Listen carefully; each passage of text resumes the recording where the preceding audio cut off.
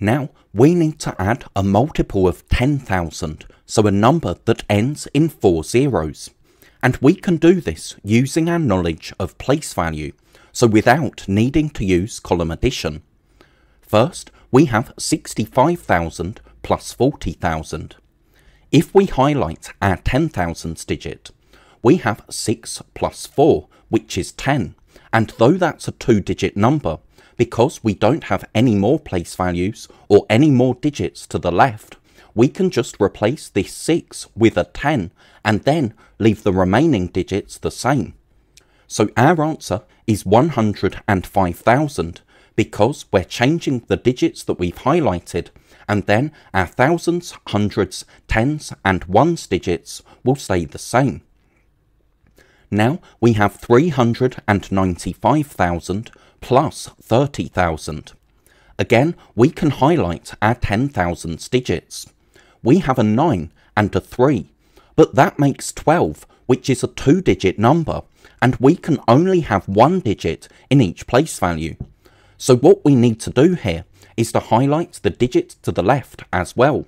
So highlight both our hundred thousands and our ten thousands digits. Then we have 39 plus 3. That's 42. So we're going to replace these digits with a 4 and a 2. All of our other digits stay the same. So our answer is 425,000. Now we have 284,500 plus 50,000. Again, we can highlight our 10,000s digits. We have an 8 and a 5. But again, that gives us 13, which is a two digit number. So what we need to do, just like we did before, is highlight our hundred thousands digit as well. So now, in the digits that we've highlighted, we have 28 plus 5. That's 33. So we're going to replace the 2 and the 8 with two threes. Our other digits will stay the same, so we have 334,500. Now to see why this method works, let's look back to this first questions and let's use place value counters to represent what we did. So we started with 65,000.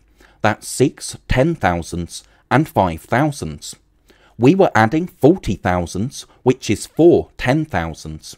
So if we add 1, 2, 3, 4 10,000 counters, we now have 10 10,000 counters. But because we can only have one digit in each place value, we can exchange 10 ten thousands for 100,000. So that's why our answer is 105,000, because we have 100,000 and we still have our 5,000s. Then we had 395,000, so that's 300,000s, 9 10,000s, and 5,000s we were adding 30,000, which is three 10,000s. But if we add just one more 10,000, we now have 10 10,000s, so we need to exchange those for another 100,000 before adding two more 10,000s, so that we've added three 10,000 counters altogether. So now you can see that we have four 100,000s and two 10,000s. The 5,000 stayed the same, so we have 425,000.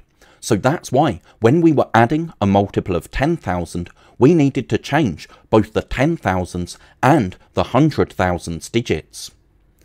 So our last question was 284,500 plus 50,000.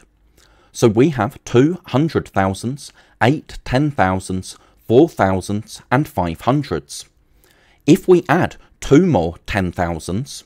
That gives us 10 10,000s, which we need to exchange for 100,000.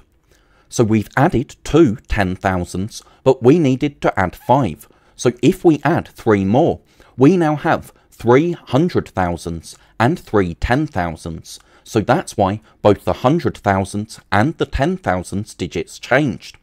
Of course, we still have our four thousands and our five hundreds. So our answer is 334,500.